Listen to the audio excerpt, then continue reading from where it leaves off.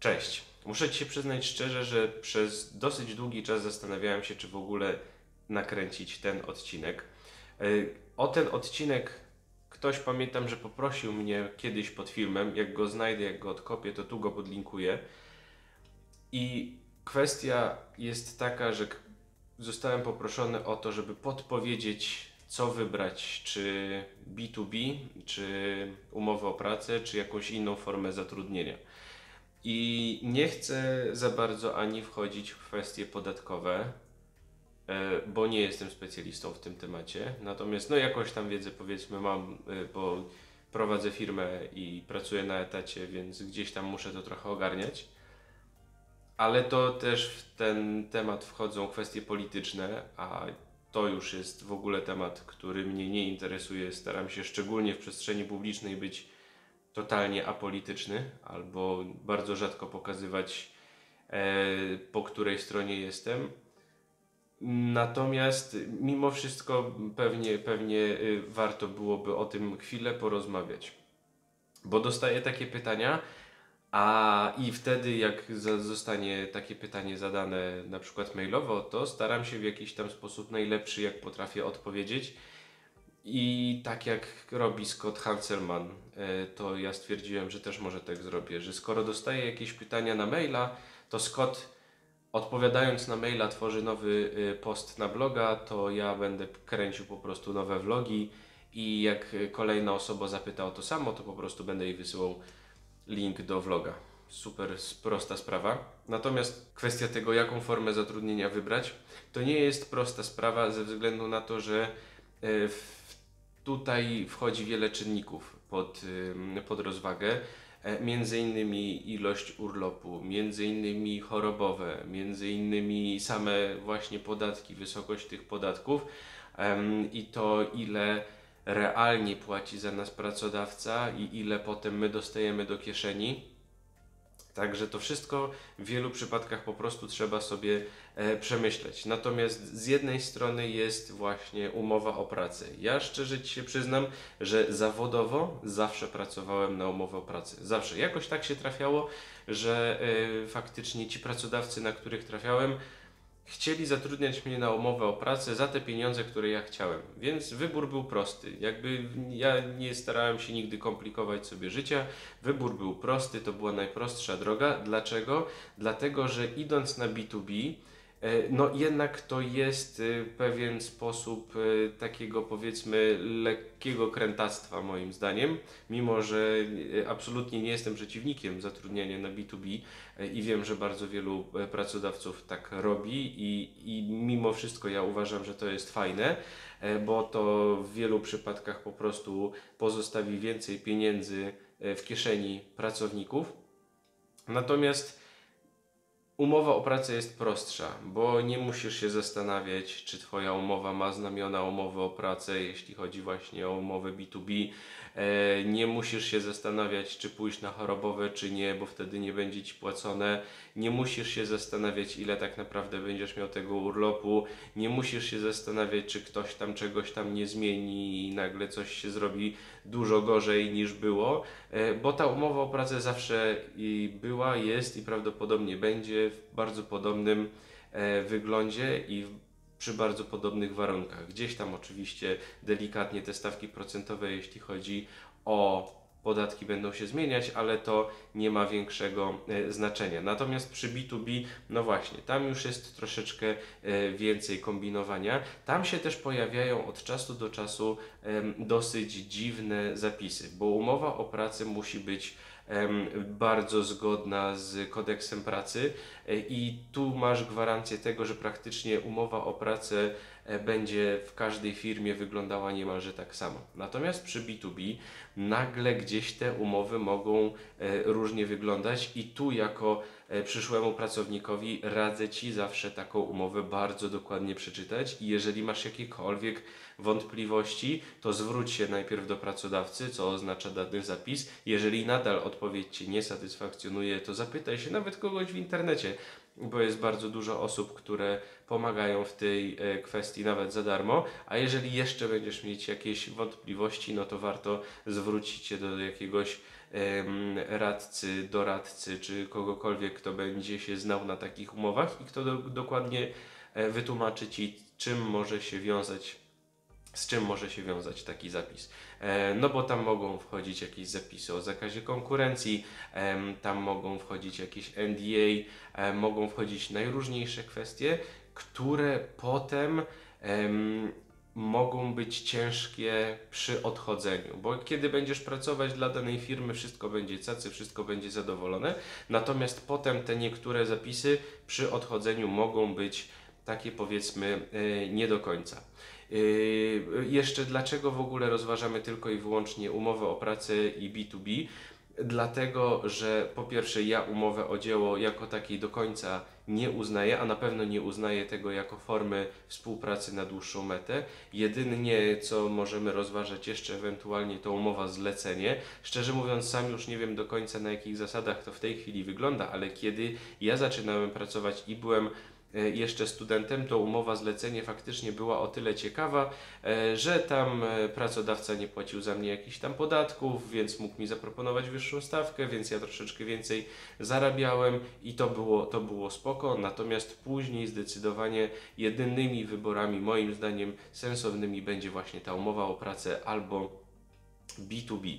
E, Natomiast jeśli chodzi o kwestie podatkowe, to też trzeba się zawsze zastanowić, bo mamy też e, kwestię tego, czy jeśli pójdziemy na B2B, to czy mamy zostać VAT-owcem, czy nie VAT-owcem. E, Czy mamy pójść na skalę podatkową, czy podatek liniowy, a może ryczałt, a jak z tym IP Boxem jeszcze jest, tam też jest bardzo dużo różnych tematów. I jedno, jedną rzecz trzeba pamiętać. Jeżeli wybierzesz B2B, to prawdopodobnie już na tym B2B przez dłuższy czas zostaniesz, bo będzie Ci się to podobać. Będzie Ci się podobać to, że możesz sobie nowy telefon, nowy komputer, nowy monitor, najnowsze różne rzeczy, gadżety sobie wrzucić po prostu na fakturę do firmy e, i odliczyć sobie podatek, w związku z czym trochę tego VAT-u mniej zapłacić, trochę tego dochodowego mniej zapłacić i to jest jak najbardziej bardzo pozytywna kwestia, jeśli chodzi o bycie na B2B i potem ciężko jest wrócić na tą umowę o pracę, gdzie nagle to wszystko znika e, i jest mniej tego kombinowania, ale jest po prostu stała wypłata. E, Natomiast trzeba pamiętać właśnie o tym, że jeśli chodzi o sposób rozliczania się, o e, progi podatkowe, to wszystko co roku można zmieniać. Co roku możesz przechodzić sobie ze skali na liniówkę, z liniówki na ryczałt, z ryczałtu z powrotem na skalę, ogarnąć sobie IP Boxa. Jest olbrzymia dowolność, także e, nie- bój się tego, że na, za pierwszym razem możesz popełnić jakiś błąd, za pierwszym razem możesz e, trafić na nieodpowiedni e, dla Ciebie sposób rozliczania, bo to nie jest coś, co będzie na stałe, to nie jest coś, co będzie na wieczność. E, I jedna rzecz, i dlaczego ja też osobiście byłem e, na umowie o pracę, bo przez długi czas nie widziałem sensu przechodzenia na B2B, bo też uważam, że B2B ma sens od momentu, gdzie e, powiedzmy wchodzisz w ten drugi próg podatkowy, i wtedy opłaca się przejść na podatek liniowy na B2B, e, bo ten podatek będzie stały i będzie super fajnie.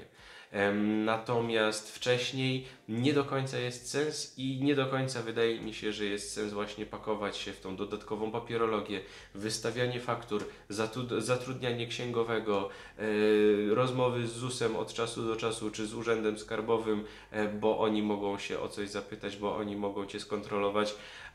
Natomiast jak już potem jesteś w tej branży jakiś czas, zarabiasz już odpowiednie pieniądze, no to też jest fajne, że można trochę pokombinować, trochę zoptymalizować te podatki, jak to się bardzo ładnie nazywa, e, i dlatego to B2B jest bardzo, bardzo kuszące. E, Ale no właśnie, e, dlaczego ja byłem na, na umowę o pracę? Bo po pierwsze, tak jak wspomniałem, zawsze, zawsze ten pracodawca proponował mi tyle, ile ja sam chciałem, już właśnie po przeliczeniu na, na kwoty netto, e, więc nie miałem z tym wielkiego problemu. Natomiast wiem, że też wiele osób może się spotkać na przykład z tym na samym początku, e, gdzieś y, rozmawiasz z rodzicami i rodzice ci podpowiedzą idź na umowę o pracę i jeszcze idź do jednej pracy i na, w tej pracy pracuj po prostu za przeproszeniem do usranej śmierci, bo pracę trzeba szanować, e, bo, bo nie wiadomo kiedy cię wyrzucą. Jak będziesz na umowę o pracę, to jesteś chroniony, nikt cię nie wyrzuci, będziesz sobie spokojnie pracować. I to jest oczywiście bzdura. Niestety. E, to nie jest tak, że umowa o pracę w jakiś magiczny sposób będzie nas chronić. Oczywiście masz prawa jako pracownik, chroni cię kodeks, kodeks y, pracy. Natomiast, y, natomiast problem jest taki, że y, jeżeli pracodawca będzie chciał cię wyrzucić, to będzie to najprawdopodobniej wyglądało tak, że przyjdzie do ciebie z dwoma wypowiedzeniami. Jedno wypowiedzenie będzie za porozumieniem stron, czyli rozchodzicie się e, po prostu, ty się zgadzasz na to odejście, on się zgadza na to odejście, a drugie będzie e, z Twojej winy, z winy pracownika, bo zrobiłeś coś. Tam będzie dokładnie wypisane, na pewno coś się znajdzie, e, bo na pewno coś tam sobie pracodawca wymyśli. I teraz jakie są Twoje rozwiązania? Albo podpiszesz to porozumienie stron i zaczniesz szukać nowej pracy. W przypadku branży IT takie rozwiązanie ma najwięcej sensu, bo umówmy się, tą pracę znajdziesz bardzo szybko. Jak już zacząłeś, jak już wszedłeś w branżę, to już tam zostaniesz i nie będziesz mieć wielkiego problemu z tym, żeby zmienić pracę. Natomiast jeśli wybierzesz to e, wypowiedzenie z Twojej winy, czyli to wyrzucenie tak naprawdę, i będziesz chcia, chciał dochodzić swoich praw gdzieś w sądzie, no to musisz się liczyć z tym, że zostaniesz wyrzucony, to zostanie wpisane do tych Twoich papierów i możesz mieć problemy z tym, żeby znaleźć kolejną pracę i co prawda pójdziesz do sądu, ale ta rozprawa będzie trwała rok, półtora i zanim się rozwiąże, nawet jeśli się szczęśliwie dla Ciebie rozwiąże tak, że faktycznie okaże się, że pracodawca nie miał podstaw do tego, żeby Cię wyrzucić, no to raz, że możesz walczyć o to, żeby Cię przywrócił na stare stanowisko, nie wiadomo, czy będziesz tego chciał. E, dwa, to może być, tam może wejść kwestia jakiegoś zadośćuczynienia, ale wątpię, żeby to miały być jakieś nie wiadomo jak wielkie pieniądze, więc w większości przypadków po prostu się wybiera to porozumienie stron. I, I nie ma w tym tak naprawdę nic złego. Natomiast to jest właśnie ta kwestia, o której trzeba pamiętać. W przypadku B2B jest zawsze zapisane, że y, można rozwiązać tą umowę i wtedy obowiązuje cię okres zazwyczaj jednego miesiąca, po prostu, czasami dwóch. E, I, i, I po prostu któregoś dnia może przyjść Twój kierownik, powiedzieć: Słuchaj, rozwiązujemy z Tobą umowę i za dwa miesiące znikasz.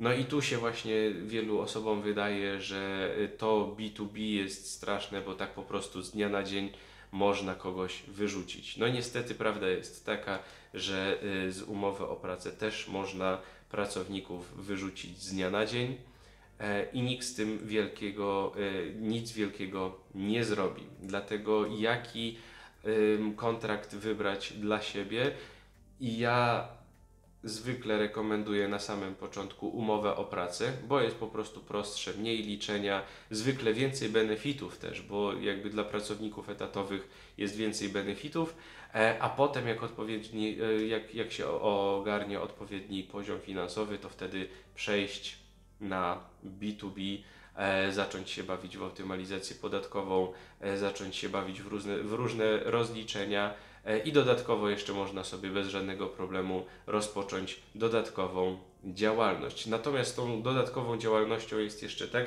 że oczywiście pracując na umowę o pracę też możesz dodatkową działalność założyć, tak jak ja mam w tej chwili, pracuję na umowę o pracę i mam swoją jednoosobową działalność gospodarczą, prowadzę swój biznes na boku i nikt nie ma z tym żadnego problemu. Natomiast to, co rekomenduję, to zawsze być fair wobec swojego pracodawcy, zawsze starać się z nim bardzo otwarcie na te tematy rozmawiać, bo wbrew pozorom, nawet jeżeli w tej chwili możesz być delikatnie przestraszony, żeby rozmawiać o pieniądzach, żeby rozmawiać o umowie, żeby rozmawiać o czymś, co będziesz robić jeszcze gdzieś tam dodatkowo po pracy, to naprawdę nie jest takie straszne. To naprawdę jest tak, że pracodawca chce Twojego dobra, chce z Tobą porozmawiać na te tematy, a dużo bardziej, dużo otwarciej będzie z Tobą rozmawiać na takie tematy, jeśli po prostu do niego przyjdziesz, a nie zaskoczysz go na przykład wypowiedzeniem em, e, któregoś dnia, albo zaskoczysz go tym, że nagle zakładasz biznes nie wiadomo jaki, nie wiadomo skąd i nie wiadomo dlaczego. Lepiej zawsze na spokojnie porozmawiać, przygotować się z pracodawcą do różnych zmian i na spokojnie sobie działać. I to wszystko. To wszystko. Jeśli masz jeszcze jakieś dodatkowe pytania, jeśli chodzi o wybór e, odpowiedniego kontraktu, jeśli, wybór, jeśli chodzi o wybór odpowiedniej formy zatrudnienia, to zadawaj pytania w komentarzach albo pisz na kajetenmałpaszkoła.pl. Bardzo chętnie z Tobą na ten temat podyskutuję. A tymczasem do zobaczenia już niedługo. Cześć!